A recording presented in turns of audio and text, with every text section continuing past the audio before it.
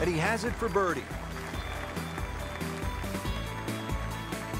There are just two par fives here at the Tour Championship presented by Coca-Cola. This is the second and last of the five pars, the 15th. It is only 525 yards, and if you walk away with par here, you will likely have dropped the shot to the field. This is a chance to make birdie or eagle.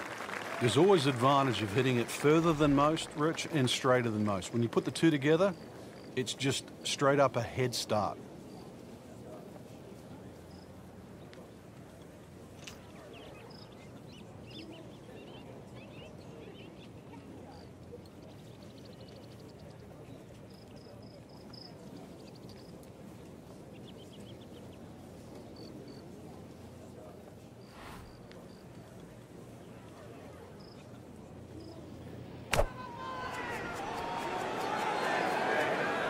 This could be a good one.